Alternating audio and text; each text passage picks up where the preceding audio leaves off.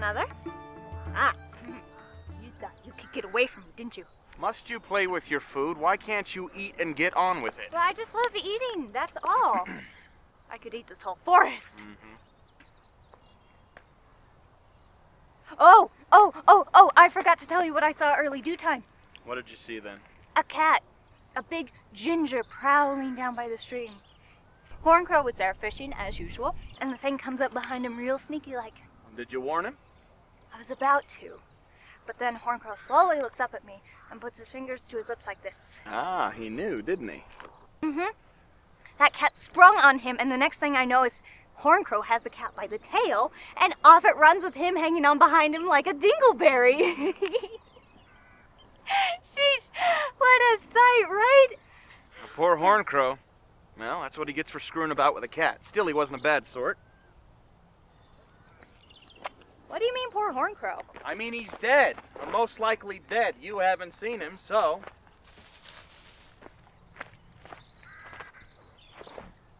What is dead? What do you mean by that exactly? You don't know what dead is? Seriously, you're what, a couple hundred years old and you don't know what dead is? Well, I've been thinking about other things, so what is it? Dead is when something's life force gets snuffed out. That leaf, this branch, that bug you just crunched on, dead.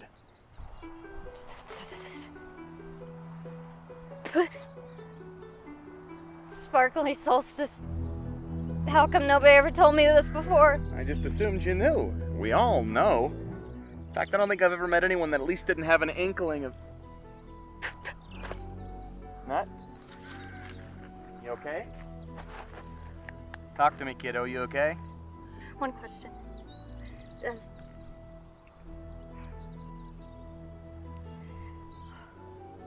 Does everything die? Well, yeah, everything does die eventually. Even me? Yes. but you're a fairy, and we live a long, long time. We live to be like uh, 500 years or something. We're practically immortal. really? Really? So.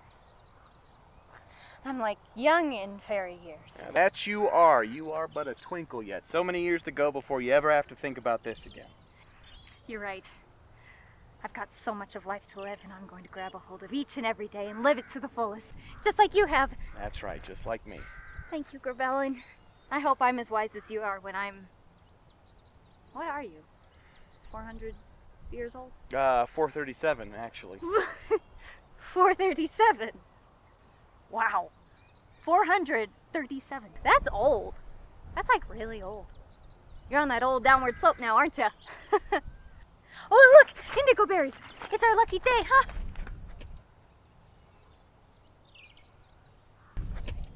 Four thirty-seven, four thirty-eight,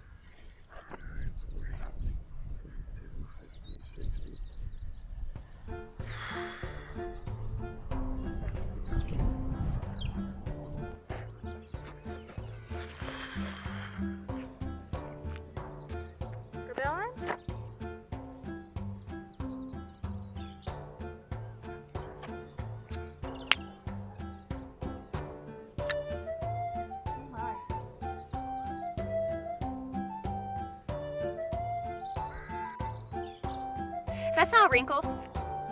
It's a laugh line. A twinkle crease.